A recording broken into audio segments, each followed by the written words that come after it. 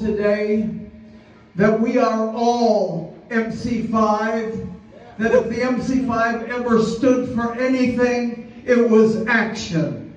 Taking action. Because that's what we need right now. The forces against us, the Republican Party, the religious right, the money grubbers, the corrupt authoritarian politicians, they're not joking. And we need to step up. We need to get to work like we've never worked before. We need to vote like we've never voted before.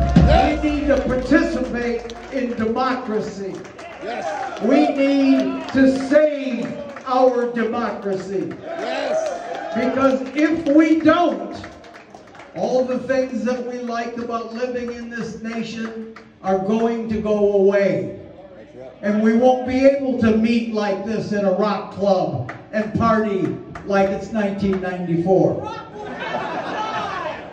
So get serious, y'all. Get out, do some work, talk to your friends, talk to your neighbors. Help us save this nation, Help us save this city and help us save this planet. Yes. We're telling them fools in Washington they can't get away with it, that we're looking at you. Woo.